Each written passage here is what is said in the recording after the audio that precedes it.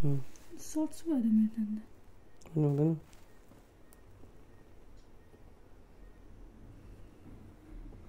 त्यो कता हुन्छ नि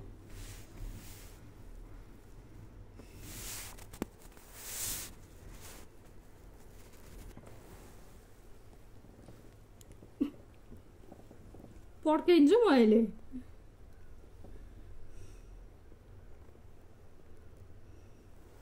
साढे नौ नि बेसी